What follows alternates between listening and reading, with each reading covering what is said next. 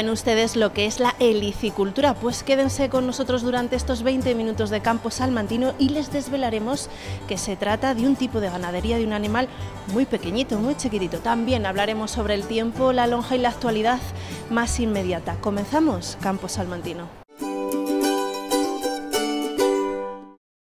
Bueno, pues ya nos hemos trasladado hasta Ciudad Rodrigo, donde vamos a conocer muy de cerca la helicicultura y me encuentro con Jorge Benito. Muy buenas tardes, Jorge. Hola, buenas tardes. Jorge, bueno, cuéntanos un poco la historia, porque sois muy pocos, casi dos o tres, los productores salmantinos que os dedicáis a la cría de caracoles.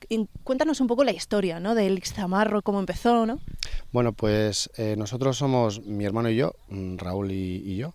Eh, tenemos donde está eh, situada la granja, es un terreno que viene de herencia familiar, de que compró mi bisabuelo para heredó mi abuela y luego heredó mi madre y bueno, pues es la tierra que siempre sirvió para, sustentar a, mi familia y mi madre en la parte que le tocó de herencia pues mm, nos insistió o nos, nos llevó a, que intentásemos hacer algo aquí y tal. Y bueno, miramos varias cosas y al final el tema de los caracoles nos convenció tanto a mi hermano como a mí y arrancamos, un poco de forma temeraria, pero arrancamos y hasta aquí estamos.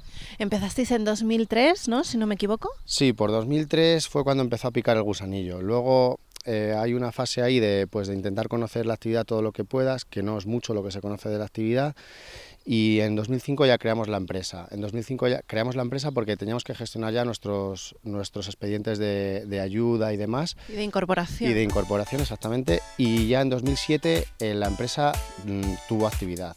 en 2007 fue cuando la empresa se da de alta, digamos, definitivamente. Está constituida en 2005 para poder gestionar ese tipo de ayudas que iban a su nombre y luego ya en 2007 se acabaron todas las instalaciones y nos pusimos a trabajar con la actividad de la empresa y demás.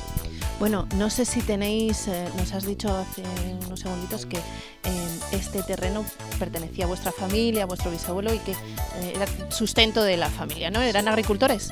Sí, sí, mi bisabuelo se dedicaba a la huerta, mi abuela y mi abuelo se han dedicado toda la vida a la huerta y tuvieron cinco, cinco hijas, una de ellas mi madre y otras cuatro mis cuatro tías y una familia que no era pequeña de ni mucho menos, y vivían pues aquí de la huerta y demás. De hecho, mi abuelo tenía dos enemigos irreconciliables, uno eran los topos y otro eran los caracoles, o sea que él no, ha, él no ha conocido el negocio, pero si lo conociese, no sé, le costaría bastante entenderlo.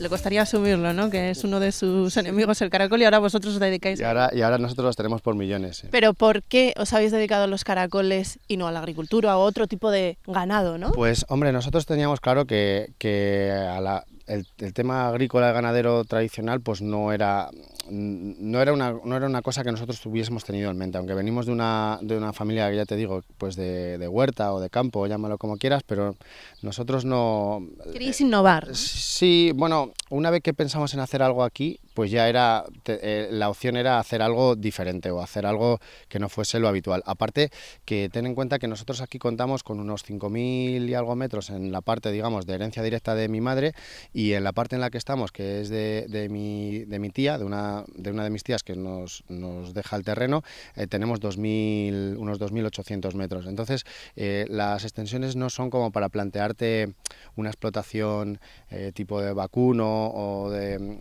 que son extensiones un poco más, o sea, son, son explotaciones un poquito más extensivas y, no podría darnos para, para, lo que digamos que el caracol encajaba un poco en, todo, en lo que queríamos, en lo que teníamos, en, en que fuese algo innovador y bueno, que, cuéntanos qué tipo de caracoles, porque hay varios tipos, ¿no? Como todo ganado, varias razas, ¿no? Hay, hay como unas 35.000 especies de caracoles conocidas, o sea que, pero solo algunas se comen, ¿vale? O sea, solo algunas tienen eh, eh, capacidad, o sea, o valor gastronómico. Y de esas que tienen valor gastronómico, solo algunas tienen valor eh, económico, o sea, tienen interés económico. Eh, de las 6 8 especies que se consumen en, la península y que se consumen en, el mundo, pues la que nosotros tenemos es el Helix aspersa muller, que es el que ese es el nombre científico, digamos, pero es el caracol de jardín, el caracol común, eh, se le llama de, muchos, de muchas formas dependiendo en el sitio en el que estés. En Cataluña se dice el bover, que es el, caracol que comen mucho los catalanes. O sea, este, este, caracol es el que nos encontramos por la huerta. ¿en Prácticamente, sí.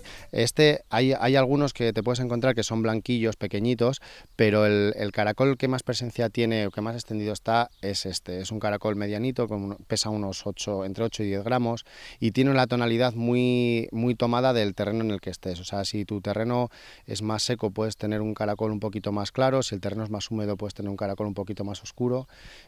digamos que esa es la variación que tiene, pero es el mismo caracol. Vamos, que somos los que comemos y los caracoles también.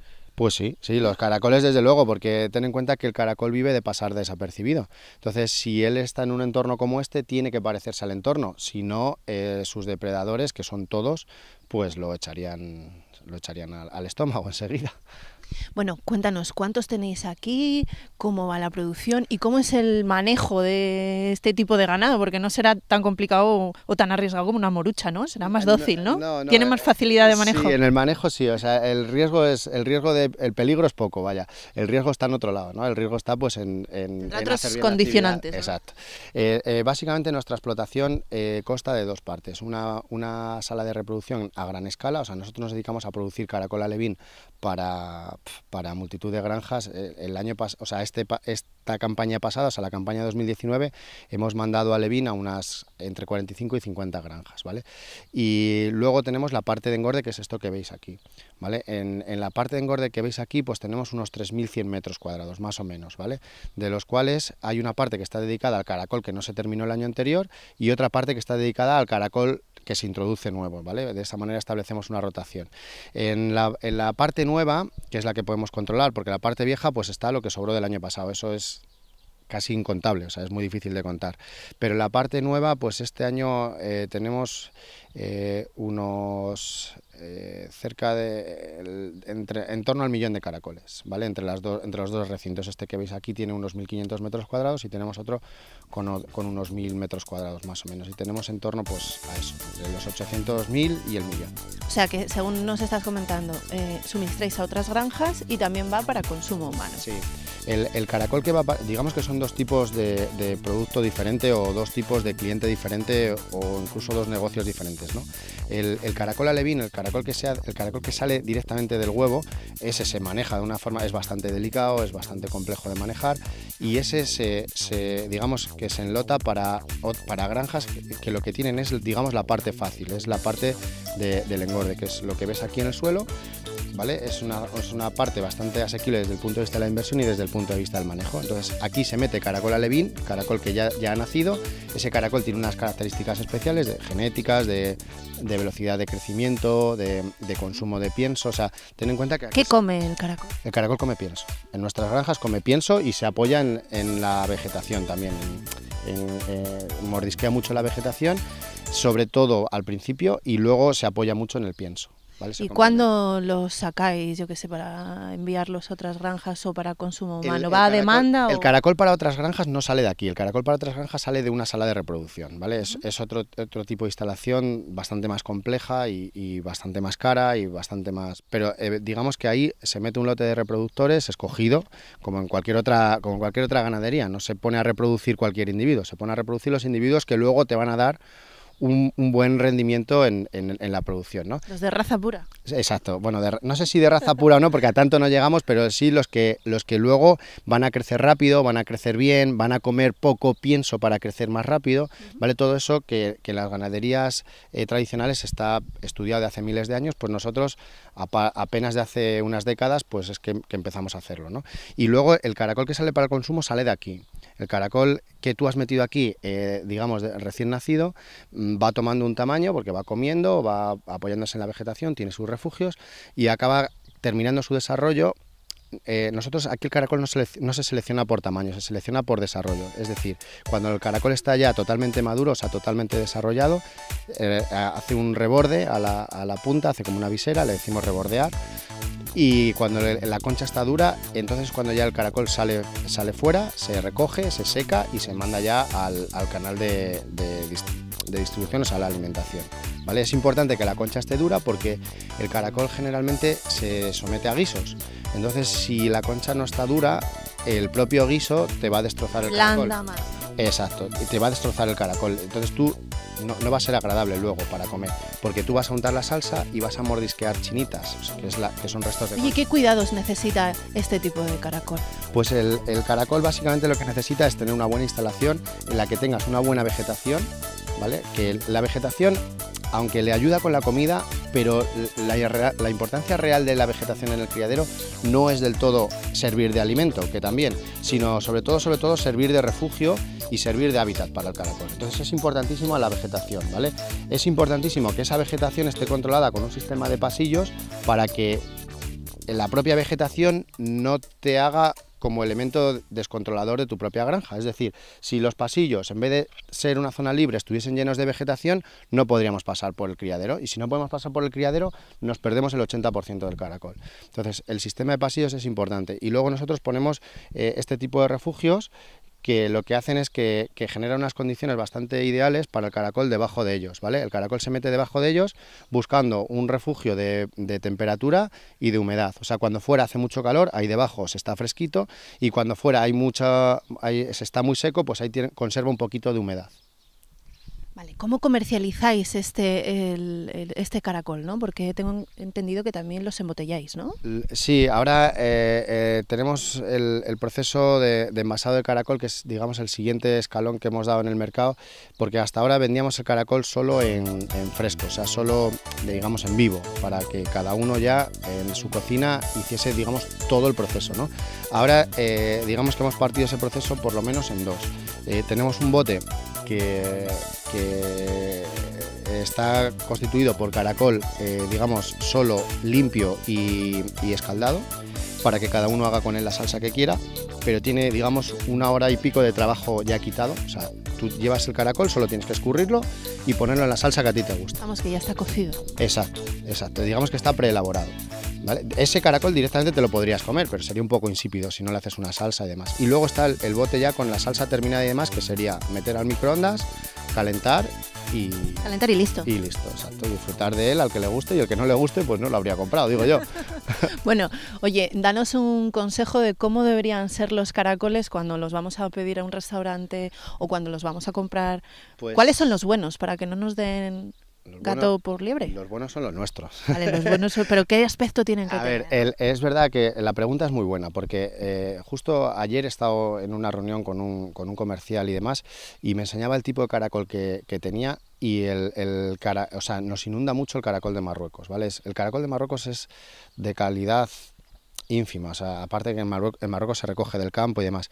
El, el tipo de caracol que se hace en las granjas es un caracol que tiene la carne blanca, ¿vale? Tiene la carne blanca porque viene muy marcado por lo que por su alimentación, que es sí, se apoya un poquito en la vegetación, pero también consume pienso. Entonces ese pienso le da una apariencia de carne muy blanquita, muy muy tal. El, el caracol de las granjas es un caracol medianito, nunca va a pesar más de 8 o 10 gramos de, de, forma normal. El caracol que viene de Marruecos o caracol que viene de fuera es un caracol más vasto, es un caracol más grande, es más, eh, la carne es más negra, es un poquito más, no sé cómo decirte. Eh, luego al, al gusto, claro, una vez que lo comes pero es que esto, claro, es como si te digo, si te pongo un plato de jamón bueno de, bellota y te pongo un plato de, pues de jamón serrano del que puedes coger por ahí y enseguida vas a saber cuál es el bueno. Claro, lo que pasa que una vez que ya lo tienes en el plato, ya, ya lo has liado, o sea, ya has cogido el bueno o el malo, o has acertado o no has acertado. Entonces, para acertar, pues eso, que el caracol sea medianito, que sea, que sea uniforme, porque ten en cuenta que si un caracol eh, se ha criado en esta granja, va a tener una uniformidad tanto en el tamaño como en su apariencia, en su color. Si tú en un bote de caracoles ves un caracol que es muy oscuro, otro que es muy blanco, otro que es muy... pues probablemente vengan de donde vengan, ¿sabes? Vale, salgo de él, ¿no? Bueno, Jorge, mm, hasta ahora hemos estado hablando del consumo humano, pero ¿os habéis planteado, pues, eh, para la cosmetología o demás, eh, la baba de caracol o vender los huevos? A ver, eh, nosotros básicamente lo que hacemos es vender caracol para el consumo humano, como bien dices.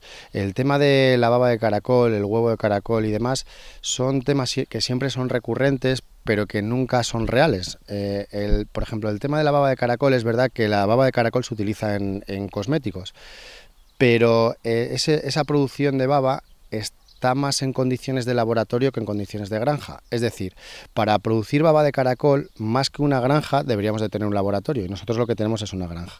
Y el tema del huevo el tema del huevo mm, periodísticamente siempre ha sido una cosa como muy llamativa. Es decir, cada vez que salía una noticia de caracoles en la prensa, de, aquí hace unos 10 años, siempre acababan hablando del huevo y decían, no, es que el huevo eh, alcanza 1.500 euros en el mercado, el kilo y tal, y no sé qué, ¿no? Eso no es real. Si, si eso fuese real, para que os hagáis una idea, hemos hablado de que producimos caracol alevín.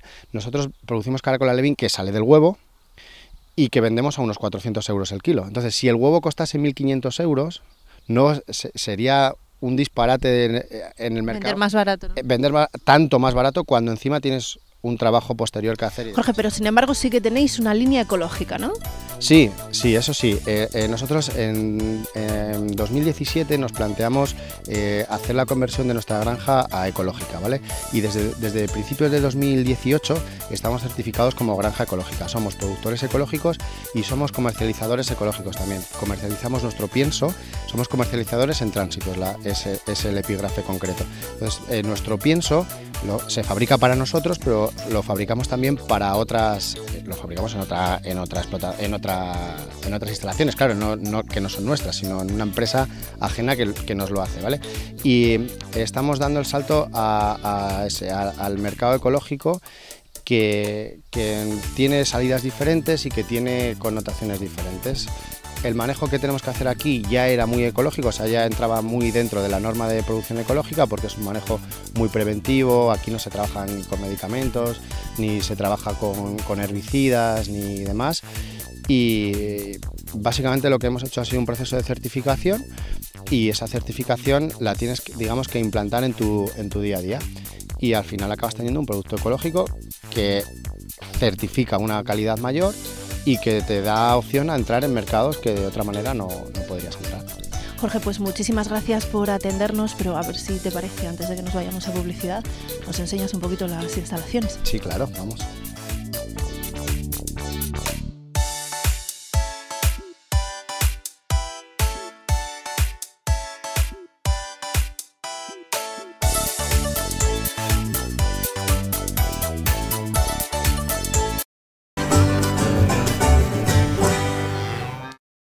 Retomamos el programa y lo hacemos repasando todas las noticias y actualidad de nuestro campo salmantino.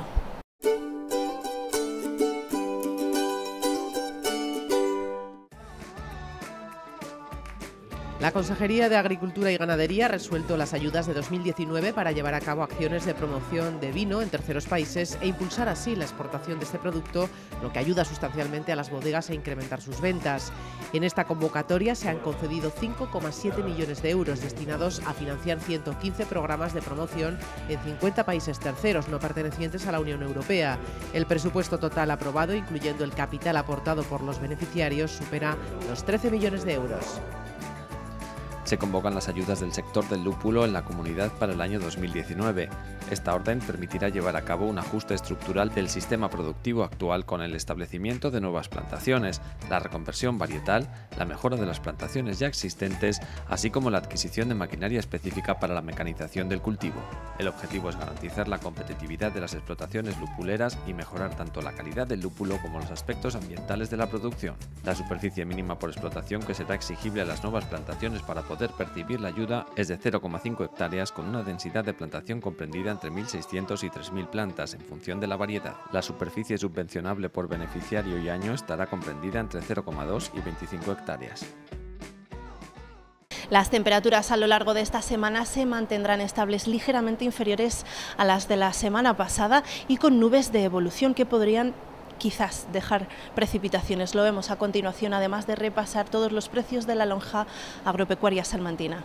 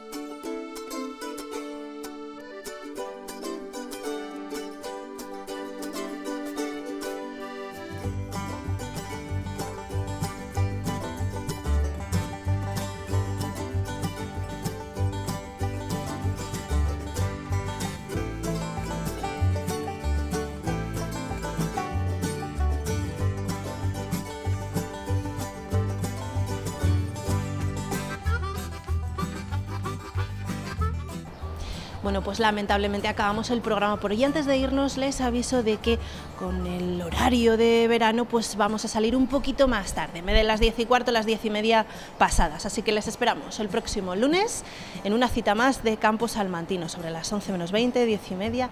Ya saben, ahí espérennos porque volveremos con más citas y con más entrevistas y reportajes de nuestro campo salmantino. Hasta entonces lo que les digo siempre, que cuiden nuestro campo, que consuman productos salmantinos y les dejo con unas fotos de Adrián Bernal. Adiós.